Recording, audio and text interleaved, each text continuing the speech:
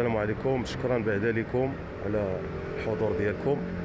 آه الاسم رضوان المشكل آه أنا ديجا جيت هنا للمؤسسة. عندي جوج وليدات كيقراو. هي هذيك جيت هنا للمؤسسة على أساس آه، باش نخرج واحد من الوليدات اللي كيقرا في السنة الرابعة دابا. هو هذيك فاش جيت باش نخرجو. هضرت مع المدير. استقبلني هضر معايا كذا فهمتي؟ أنا بغيتك دير معايا شي حل. زعما أنا باغي نخلي واحد ونخرج واحد راه على عيني راه فهمتيني؟ راه لا يكلف الله نفسا إلا وسعها. إيوا هذيك وصلنا للحل بأن هذاك غنخرج واحد ونخلي واحد. اللي درت معاه درت معاه باش نخلص ليه هذاك الشيء القديم 50% وما نعطيش واجبات التسجيل واحد المدة ديال شهرين ولا ثلاث شهور غيدير لي التأجيل. بما تحركت وديك الساعة نقدر نخلص ليه الواجبات ديالو. كنجي كدوز مثلا داز واحد ثلاث أيام كنتفاجئ بأن التلاميذ كيجيوهم الدروس ديالهم في ال transport كيجيبوا لهم حتى للدار. وأنا ولدي ما مستفد من حتى حاجة. خصني نعرف علاش جيت المؤسسه هضرت مع السيدة اللي مكلفة تمايا كنهضر معاها. كتقول لي يا ودي أنا راه ما نقدر نقول لك والو أنا راه ما فهمت والو في هذا الشيء خصك تطلع عند المدير. اللي كنطلع عند المدير السلام عليكم اسيدي اش كاين اش كاين. قال لي ودي هذا الشيء اللي كتقول أنا راه ما درت معك والو. هذيك الهضرة كلها اللي دار معايا في المرة الأولى كلها تقلبات. هذاك الشيء اللي قال لي أنا سامحت لك فيه.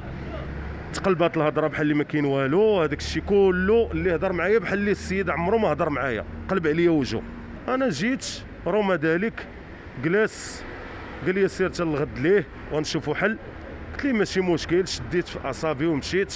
الغد اللي كنجي. كنهضر مع السيده الكاتبه اللي كاينة لتحت. كنهضر معاها كتقول لي خصك تسيني واحد الورقه. قلت لها ديالاش هاد الورقه؟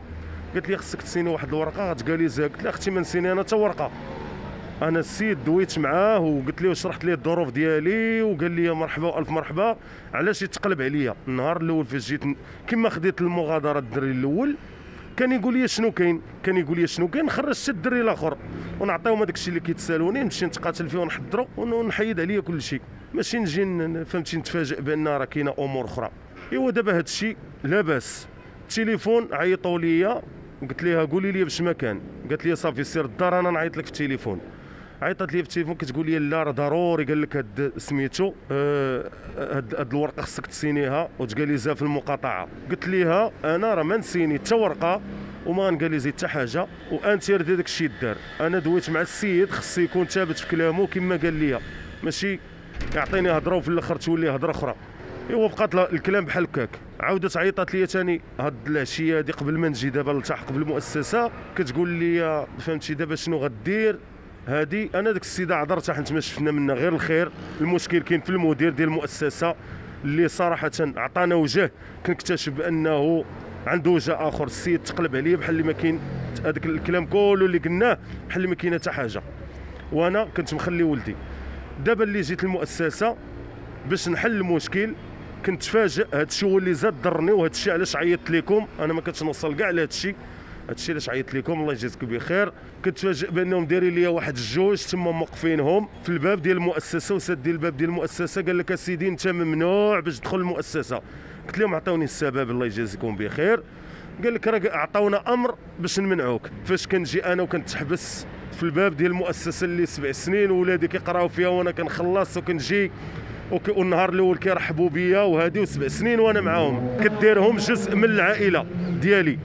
مدرسة حاط فيها ولادي بحال اللي داري الثانية ويجيو يحبسوني. بغيت نفهم علاش. هاد الحبسة اللي حبسوني علاش. اللي كنقول لهم عطوني المسؤول عطيوني هذا كيقول لك أسيدي حنا حابسينك. ما باغينش يهضروا ما باغيين يديروا حتى حاجة. أنا بغيت نعرف هاد الناس اش باغيين يوصلوا معايا.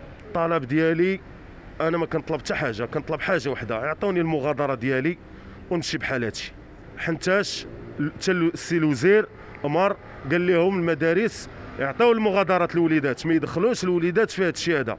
لا كان شي مشكل بيناتكم هذاك الشيء مشكل يديروا المحاكم هذاك الشيء بيناتكم نتوما. هذا الشيء اللي كاين. شكرا.